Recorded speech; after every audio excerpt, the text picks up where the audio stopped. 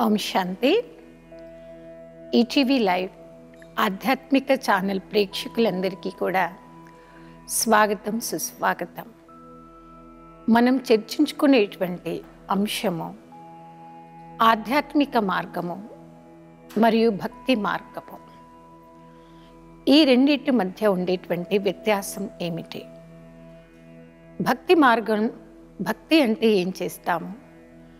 ఆధ్యాత్మికంలో మనం తెలుసుకునే అంశాలు ఏంటి? అందరికీ ఇప్పటివరకు భక్తి అంటే తెలిసిందే. వేదాలు చదవడం పురాణాలు చదవడం గాయత్రి మంత్రం చదవడం తీర్థయాత్రలు చేయడం ఉపవాసాలు చేయడం. దీని భక్తి అని మనందరికీ తెలిసినటువంటి విషయమే. ఆధ్యాత్మికత మనకు నేర్పించేది ఏంటి? ఆధ్యాత్మికత అనగా మనం భక్తిలో చేస్తున్న ప్రతి అంశంలో దాని వెనుకాల దాగి ఉండేటువంటి యథార్థ రహస్యం గురించి. పూజ చేసేటప్పుడు విధిపూర్వకంగా ప్రతి ఒక్క భక్తుడు నిష్ఠతో నియమాలను ఆచరిస్తూ ఉంటాం. నియమ నిష్టలతో భక్తి చేస్తేనే దానికి ఫలం దొరుకుతుంది అని మనందరం నమ్మేటువంటి సిద్ధాంతము. ఆధ్యాత్మికతలో కూడా నియమనిష్ట కూడా ఉంది. నియమనిష్ట అనేది భక్తిలో ఉంది ఆధ్యాత్మికతలో కూడా ఉంది. భక్తిలో దాన పుణ్యాలకి మంచి స్థానం ఉంది. ఆధ్యాత్మికతలో కూడా సేమ్ దాన పుణ్యాలకి ప్రాముఖ్యత ఉంది. భక్తి మార్గంలో మనం దానం చేస్తాము. వస్త్రదానము లేదా దాహంగా ఉండే వారికి నీళ్ళ దానం చేస్తాము. లేదా ఎన్నో ప్లేస్లలో పుణ్యక్షేత్రాలు వెళ్ళినప్పుడు వారికి భోజనాలు పెడుతూ ఉంటాం. అది కూడా మనం దానం చేస్తూ ఉంటాం. ఆధ్యాత్మికతలో దేం దానం చేయాలి? ఆధ్యాత్మికతలో మనం దానం చేయాల్సిందే ఎదుటి ఆత్మకి జ్ఞానరత్నాలు అనేటువంటి దానము. ఈశ్వరుడు మనందరికి ఇచ్చినటువంటి దివ్య గుణాలు అనేటువంటి దానం మనం చేయాలి. మరి భక్తిలో తర్వాత ఆధ్యాత్మికతలో ఇంకొక అంశం కూడా సేమ్ మ్యాచ్ అవుతుందండి. భక్తి మార్గంలో మంచి సమయం. శుభకార్యాలకి. బ్రహ్మ ముహూర్తంలో మనం ఎక్కువ ఇంపార్టెన్స్ ఇస్తాం. కొన్ని శుభకార్యాలు బ్రహ్మ ముహూర్తంలో చేయండి. ఎర్లీ మార్నింగ్ సేమ్ అదే బ్రహ్మ ముహూర్తంలో పరమాత్మ స్మృతిలో కూర్చొని పద్ధతి ఆధ్యాత్మిక మార్గంలో కూడా ఉంది. అదేవిధంగా సాయంత్రం సంధ్యాకాలంలో భక్తి మార్గంలో ఇదొక నమ్మకం ఉంది. ప్రతిరోజు సాయంకాలం సంధ్యాకాలంలో దేవతలు పరిక్రమించేటువంటి సమయము. ఆధ్యాత్మిక మార్గంలో కూడా సంధ్యాకాలానికి మంచి ప్రాముఖ్యత ఉంది. ఈ యొక్క సంధ్యాకాలంలో మన యొక్క సంకల్పాలలో ఏకాగ్రత తీసుకొని వచ్చి పరమాత్ముడు ఎందు మనసు లగ్నం చేయడం బ్రహ్మ ముహూర్తానికి ఎంత ప్రాముఖ్యత ఉందో సాయంత్రం సంధ్యాకాలంలో కూడా ఆధ్యాత్మిక మార్గంలో కూడా సమానంగా ఉంది. భక్తికి ఆధ్యాత్మికతకి రెండు కలిసేవి కొన్ని విషయాలు మీరు విన్నారు. భక్తి అంటే వెతకడం. ఇప్పుడు చూడండి భక్తిలో ఏం చేశారంటారు? కొండల కోణల్లో భగవంతుణ్ణి వెతికాను. ఆధ్యాత్మికత అనేది సరి అయిన గమ్యం ఏది? సరి అయిన సం స్థానం ఏది? మనసు యొక్క ఏకాగ్రత సహజమైన పద్ధతిలో ఎలా లగ్నం చెయ్యాలి అనేది ఆధ్యాత్మికత మనకు నేర్పిస్తూ ఉంది. ఒక పూజ చేసేటువంటి భక్తుడు హిందూ భక్తి సాంప్రదాయ విధానములో నియమం నిష్ఠతో చేస్తూ ఉంటాం చూడండి. ముందుగా అలంకరణ చేసి దానికి ముందు అభిషేకం చేస్తాం. అభిషేకం చేసిన తర్వాత దేవిని అలంకరిస్తాం. అభిషేకం తర్వాత దేవిని అలంకరించి తర్వాత హారతినిస్తాం. కళ్ళకద్దుకుంటాం. ప్రదక్షిణలు వేస్తాం. ఫైనలీ ప్రసాదము. భక్తిలో చేసేటువంటి ప్రతి దానికి ఆధ్యాత్మికంగా గొప్ప రహస్యం ఉందండి. ముందుగా దేవతలను ఏం చేస్తాము? అభిషేకం చేస్తాం. పంచ అమృతాలతో దేవిని మనం అభిషేకం చేస్తాము. మన శరీరం అనేది పంచతత్వాలు పంచభూతాలతో తయారు చేయబడింది. ఐదు సంఖ్యకి ఏడు సంఖ్యకి చాలా విశేషమైన స్థానం భక్తిలో ఉంది జ్ఞానంలో కూడా ఉందండి. ఏడు రోజులలో మీరు గొప్ప ఆధ్యాత్మికమైనటువంటి విషయాలను తెలుసుకోవచ్చండి. ఈ యొక్క మార్గంలో ఏడు రోజులకి ఎందుకు మేము ఇంత విలువనిస్తామంటే స్వయం యొక్క పరిచయం కానివ్వండి పరమాత్మ పరిచయం కానివ్వండి ఈ సృష్టి అనే నాటక రంగంపై మీ యొక్క ఆత్మ ఏ ఉద్దేశంతో జనన మరణ చక్రంలోకి వచ్చింది. జన్మల రహస్యం కానివ్వండి సృష్టి రహస్యం పరమాత్ముడి యొక్క స్మృతితో ఎన్ని రకాల లాభాన్ని మీరు పొందవచ్చో. ఇలాంటి గొప్ప అంశాలు ఏడు రోజులలో మీరు చాలా స్పష్టంగా తెలుసుకోవచ్చు. భక్తిలో కూడా పూజలు చేసేప్పుడు వ్రతాలు చేసేప్పుడు ఐదు వారాలు చేస్తారు. అవునా? ఏడు వారాలు. లేదా తొమ్మిది వారాలు. వాటిలో వారు అనుకున్నటువంటి భక్తి కంప్లీట్ చేసినట్టుగా ప్రతి భక్తుడు వాటిని నమ్ముతాడనమాట దేవి యొక్క అలంకరణ పంచతత్వాలతో తయారు చేయబడినటువంటి మానవ శరీరం. పంచభూతాలతో తయారు చేయబడిందని విన్నారు. మన శరీరాన్ని నడిపిస్తున్నటువంటి మన యొక్క ఆత్మ ఆత్మను పరమాత్ముడి యొక్క స్మృతిలో లగ్నము చేస్తూ ఐదు విషయ వికారాలతో మన యొక్క మనస్సుని శాశ్వతంగా దూరము తీసుకొని రావాలి.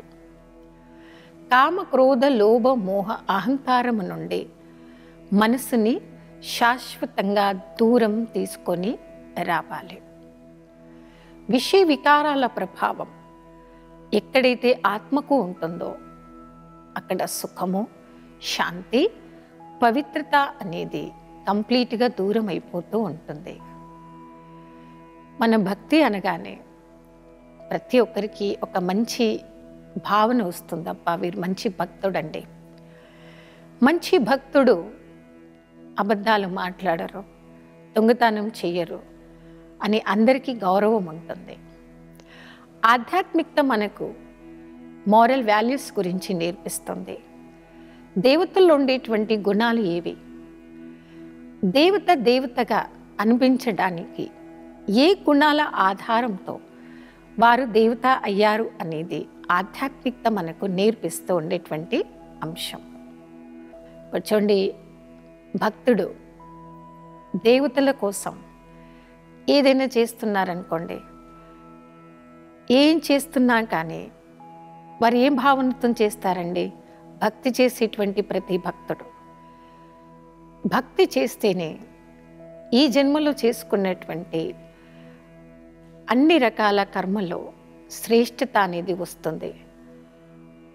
మరి పూర్వజన్మలో చేసినటువంటి ప్రతి పాపాలను పూజలు పునస్కారాలు చేస్తేనే మైనస్ అవుతాయి.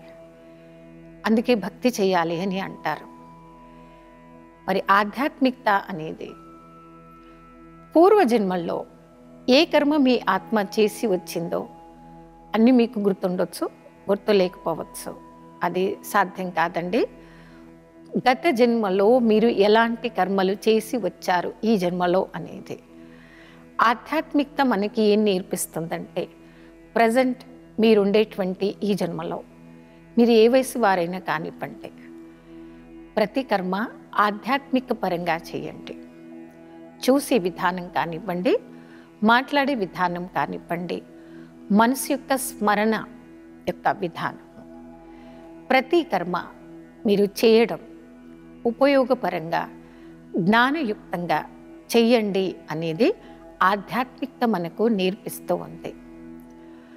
ఇదండి భక్తి మార్గానికి ఆధ్యాత్మిక మార్గానికి ఉండేటువంటి గొప్ప డిఫరెన్స్. ఆధ్యాత్మికత ఈ జన్మకు కాకుండా రాబోయే జన్మల గురించి కూడా ఏ విధంగా మీ యొక్క పుణ్యం యొక్క ఖజానాని తయారు చేసుకోవాలి? ఆధ్యాత్మిక మార్గంలో అయిపోయిన గడిచిన జన్మల్లో ఏ యుగంలో మనం ఎన్ని జన్మలు తీసుకుంటాం సహజంగా ప్రతి ఒక్కరికి ఒక అలవాటు ఉంటుంది. వారు హ్యాపీగా ఉన్నారు అనగానే టక్కన అంటాం పూర్వజన్మ సుకృతం. సాడ్గా ఉంటే ఏ జన్మలో ఏం పాపం చేశాము? అందుకే ప్రజెంట్ నేను సాడ్గా ఉన్నాను. కానీ ఆధ్యాత్మికత మనలో స్పిరిచువల్ అవేర్నెస్ని పెంచుతుంది. ఎలాంటి కర్మలు చేస్తే ఎలాంటి ఫలం? మనకి రిటర్న్ దొరుకుతుంది. ప్రజెంట్ ఫస్ట్ చేంజ్ అనేది స్పిరిచువల్ వేలో మీ యొక్క వే ఆఫ్ థింకింగ్ని పాజిటివ్గా మార్చుకోండి. ప్రతి ఒక్క ఆత్మను సోదర భావంతో చూడండి. అనేకులతో ఉండాల్సిందే. అనేక రకాల మనుషులతో మనం మీట్ అవ్వాల్సిందే. అనేక రకాల మనుషులతో ఉంటూ అనేక రకాల మనుషులతో మనం మీట్ అవుతాం.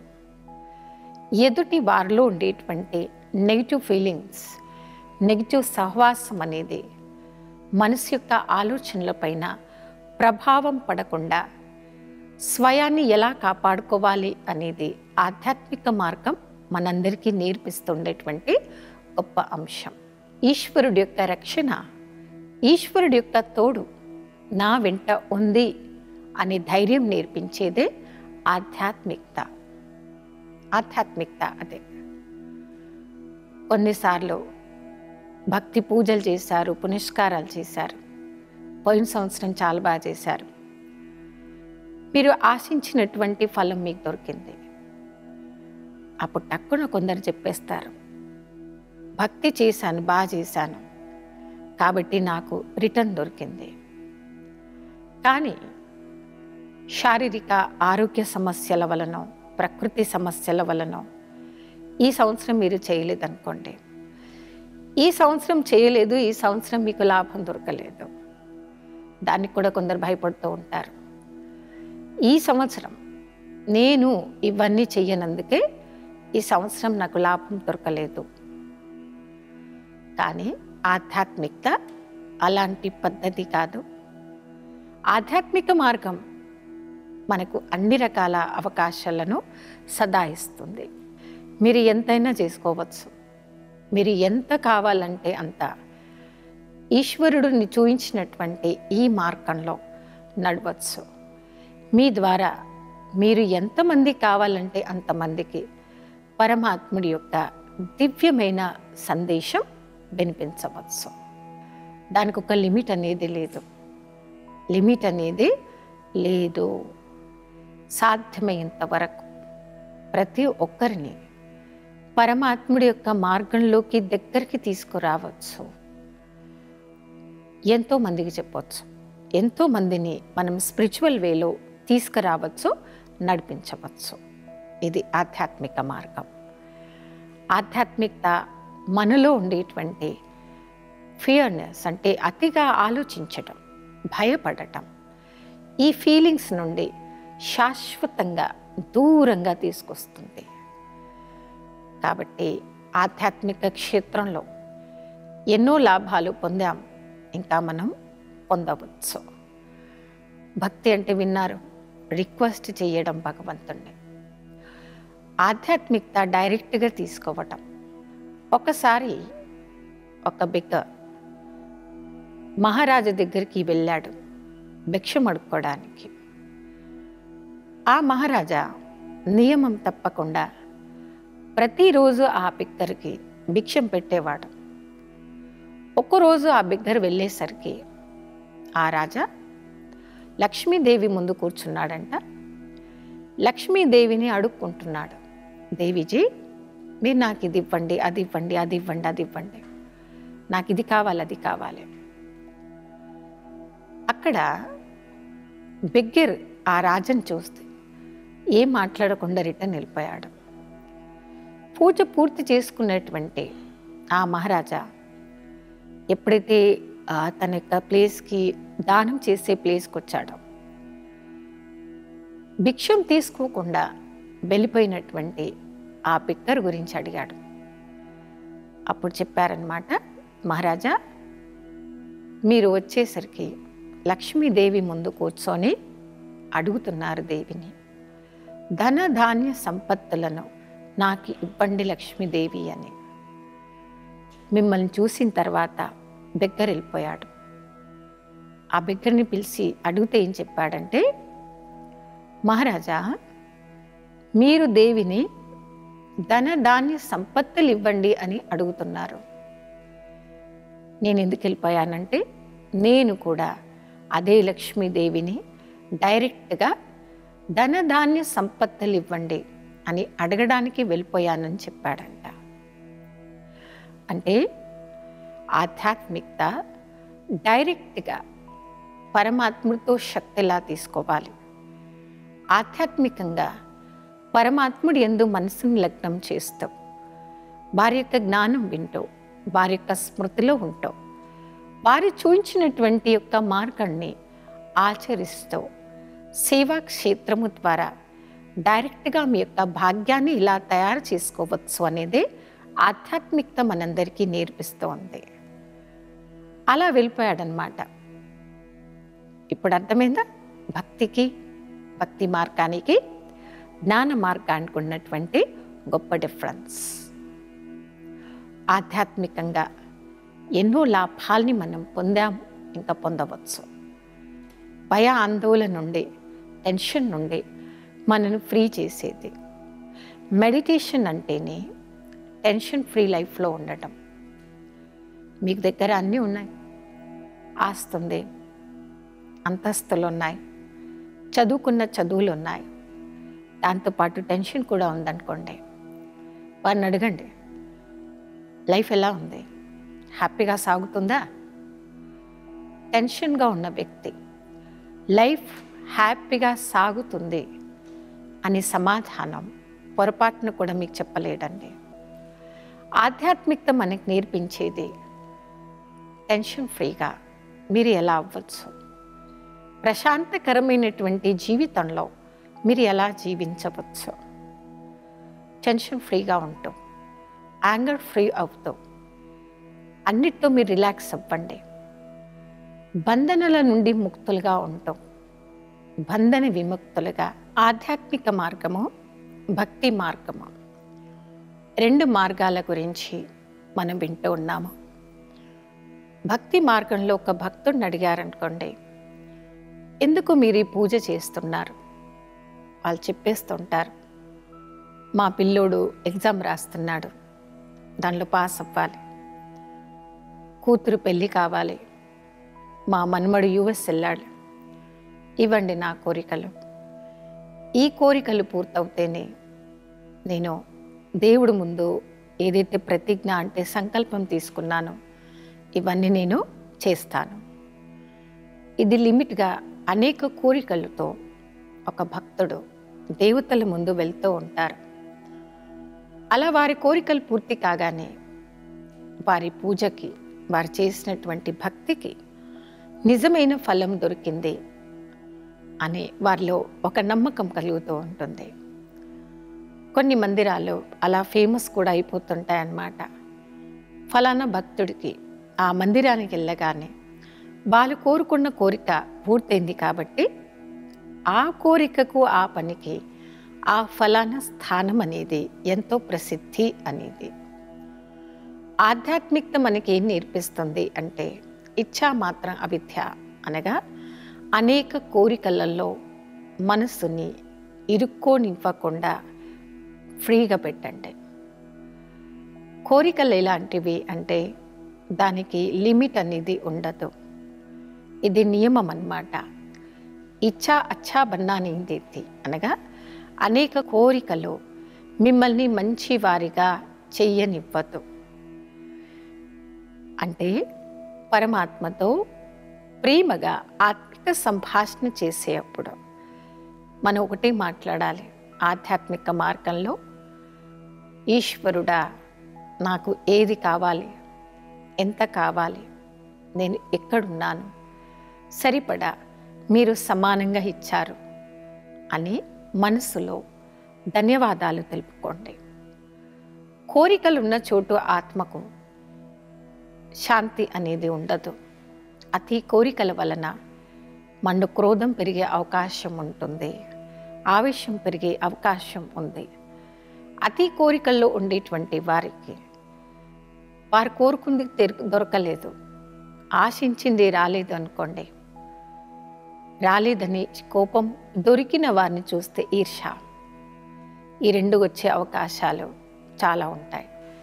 కోరికల వలన చాలా నష్టపోతూ ఉంటాం. మరి స్వయంతో ఇదే సంభాషణ చెయ్యండి.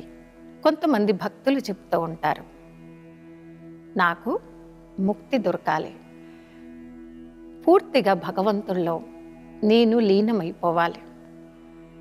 ఈ జన్మ ఈ మరణము సుఖము దుఃఖము అనేక రకాల మనుషులను పాపపుణ్యాలు చేస్తూ చేస్తూ చేస్తూ చేస్తూ చేస్తున్న వారిని చూస్తూ చూస్తాం.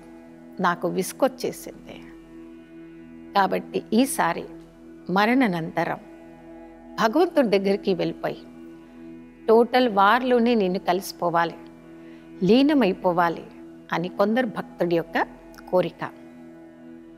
ఆధ్యాత్మికత జన్మ మరణ చక్ర రహస్యం ఏం నేర్పిస్తుందంటే పంచతత్వాలతో తయారు చేయబడ్డటువంటి శరీరాన్ని నడిపిస్తుంది మన యొక్క ఆత్మ.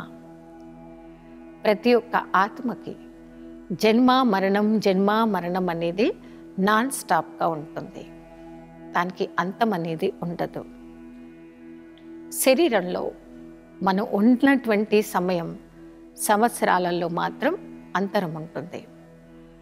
శరీరాన్ని నడిపిస్తున్న మన యొక్క ఆత్మ ఆ శరీరంలో ఇరవై సంవత్సరాలు కూడా కొందరు ఉండొచ్చు. కొందరు ముప్పై సంవత్సరాలు ఉండొచ్చు కొందరు ఎనభై సంవత్సరాలు కూడా ఉండొచ్చు. చాలా తక్కువ సార్లు మనం వింటూ ఉంటాం వంద సంవత్సరాలు దాటిన వారిని కూడా చూస్తూ ఉంటాం. అలాంటి వారు కూడా ఉండే అవకాశం ఉంది. కానీ జన్మ మరణం జన్మ మరణం ఈ చక్రంలో ప్రతి ఒక్క ఆత్మకి తప్పకుండా రావాల్సిందే. ఈ చక్రం నుండి తప్పించుకునేటువంటి వారు జన్మ మరణ చక్రంలో రాకుండా మృత్యుంజయుడు అమరనాథీశ్వరుడు ఒక్క పరమాత్మ తప్ప ప్రతి ఒక్కరిమి రావాల్సిందే. అది ఎవరికీ తప్పదండి? నాకు అసలే జన్మ వద్దు అని కోరుకునే దానికి బదులుగా ఈ జన్మలో ఉంటూ మన యొక్క జీవితాన్ని మన యొక్క లైఫ్ స్టైల్ని ఏ విధంగా ఆధ్యాత్మిక పరంగా గడపాలి? జీవితాన్ని ఏ విధంగా వజ్రతుల్యంగా మార్చుకోవాలి అనేది ఆధ్యాత్మికత మనకు నేర్పిస్తుంది. అంతేకాని ఏ ఆత్మ కూడా భగవంతుల్లో కలిసిపోవడం అనేది జరగదు. లీనమవ్వడం అనేది జరగదండి. జన్మ మరణ చక్రంలో ప్రతి ఒక్కరిమి రావాల్సిందే. సృష్టి అనే నాటక రంగంలో అనేక రకాల పాత్రధారులు ఉంటారన్నమాట. మొదటి రకం పాత్రధారుడు భగవంతుణ్ణి వేడుకుంటాడంట. భగవంతుడా మరణానంతరం నేను మీ దగ్గరికి వస్తాను రిఫ్రెష్ అవుతాను. రిఫ్రెష్ అవ్వగానే తిరిగి నన్ను మళ్ళీ పంపించండి అని మొదటి రకం పాత్రధారుడు కోరుకుంటాడు. కానీ రెండవ రకం పాత్రధారుడు ఏం కోరుకుంటాడంటే మరణించిన తర్వాత మీ దగ్గరికి వచ్చి మీరు నాకు అక్కడే స్పష్టంగా చెప్పేయండి. నా వచ్చే జన్మ గొప్ప ఇంట్లో ఉందా? అయితే కిందికి పంపండి. గొప్ప ఇంట్లో లేదనుకోండి పంపకండి. ఎందుకంటే ఈ జన్మలో పేద ఇంట్లో పుట్టి అనేక రకాల దుఃఖాన్ని అశాంతిని నేను చూశాను అని రెండో రకం పాత్రధారుడు అలా భగవంతుని కోరుకుంటారంట. మూడో రకం పాత్రధారి భగవంతుణ్ణి వేడుకుంటాడంట. జస్ట్ ఇప్పుడే లైఫ్లో నేను సెటిల్ అయ్యి సెట్ అయ్యాను. డబ్బు వచ్చింది. నా స్టడీస్ జస్ట్ ఇప్పుడే కంప్లీట్ అయింది. అసలు నేను ఎందుకు మరణించాలి? ఎందుకు మరణించాలి? చాలా కష్టంగా లైఫ్లో ఈ ఏజ్లో నేను సెట్ అయిపోయాను కాబట్టి నేను ఇక్కడే ఉంటాను. పొరపాటును కూడా నన్ను మీరు తీసుకెళ్ళొద్దు. అని మూడో రకమైన పాత్రధారుడు కోరుకుంటాడంట. ఇన్ని రకాల పాత్రధారులు సృష్టి అనే ఈ నాటక రంగంలో వారి వారి పాత్రలను అభినయిస్తున్నారు. ఫైనల్గా జరిగేది ఏంటంటే జీవితాన్ని వజ్రతుల్యంగా ఎలా మార్చుకోవాలి అనేది ఆధ్యాత్మిక మార్గం మనందరికీ నేర్పిస్తుంది. ఇదండి ఆధ్యాత్మిక మార్గము భక్తి మార్గము. ఈ రెండు మార్గాల మధ్య ఉండేటువంటి గొప్ప డిఫరెన్స్. ఈరోజు ఎపిసోడ్లో ఈ రెండు అంశాల గురించి ఎన్నో విషయాలను తెలుసుకున్నాం. రాబోయే ఎపిసోడ్లో ఆధ్యాత్మిక క్షేత్రంలో ఆధ్యాత్మిక పరంగా ముందడుగు వెయ్యాలంటే ఏం చేయాలి అని మరొక గొప్ప అంశం గురించి చర్చించుకుందాం. అప్పటి వరకు అంశాంతే.